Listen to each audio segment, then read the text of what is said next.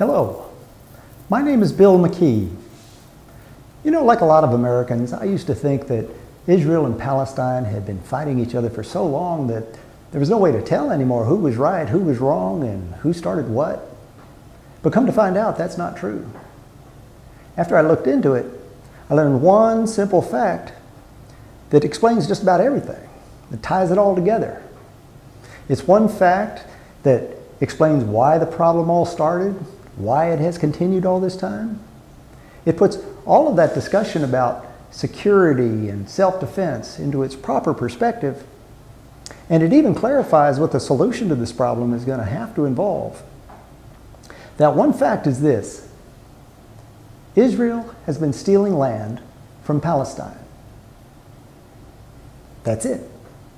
Israel has been stealing land from Palestine. It's easy to prove and it can't be denied. Here, look at these maps.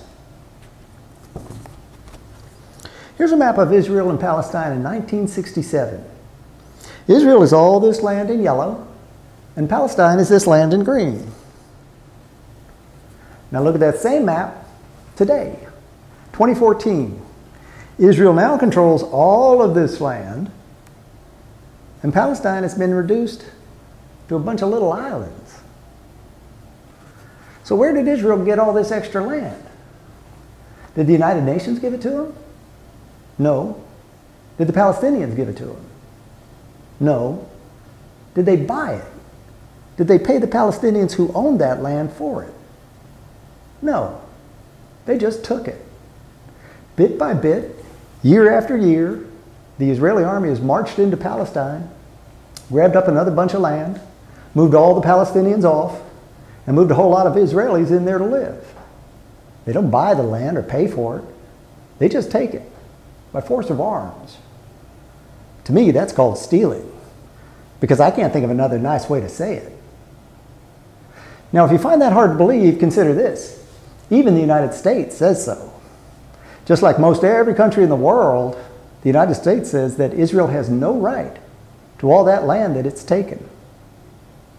But Israel seems to think that if you can steal some land and you can get away with it for long enough, that land will become yours.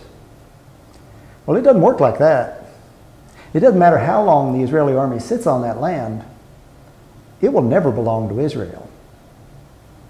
So the next time somebody tries to tell you that the conflict between Israel and Palestine is very complex, just remind them of one thing. Israel has been stealing land from Palestine. If you start the discussion from there, all the rest of it becomes a lot more clear. How did the problem start? It began when Israel started stealing land from Palestine. Why has the violence continued all these years?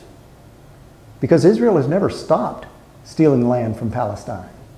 As recently as September of this year, Israel grabbed another 1,000 acres of Palestine that they're now calling their own. Doesn't Israel have a right of self-defense? Of course they do. But guarding land that you've stolen is not self-defense. Think of it this way.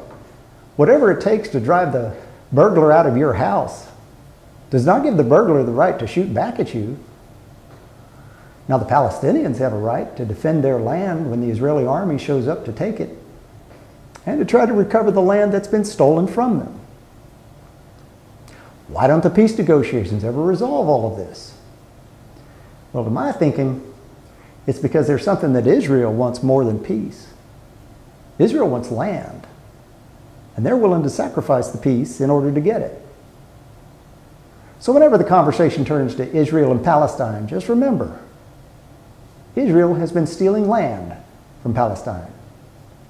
It's easy to prove and it can't be denied. Thank you.